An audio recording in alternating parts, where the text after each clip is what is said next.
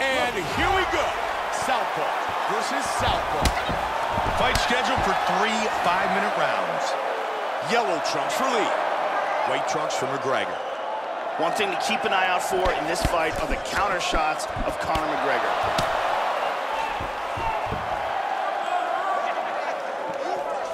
That jab is lightning fast.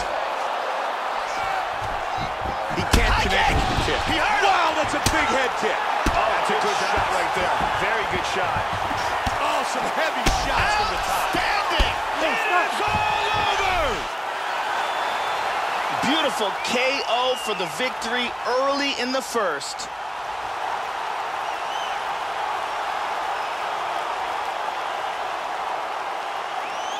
Time now for our fight replay.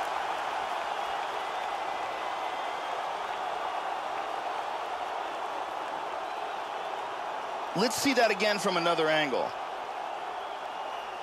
With the official decision, here is Bruce Buffer. Ladies and gentlemen, referee Herb Dean is going to stop to this contest at 54 seconds of the very first round. Declaring the winner by knockout, the